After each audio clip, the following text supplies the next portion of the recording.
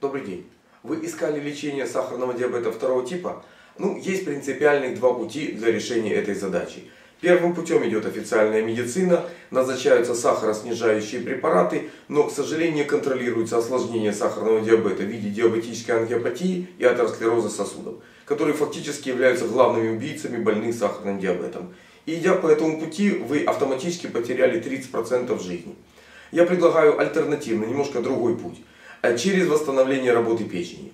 Когда печень, как склад для углеводов, начинает работать более эффективно, а, э, уровень сахара в крови автоматически начинает контролироваться на более низких э, цифрах. И хорошо.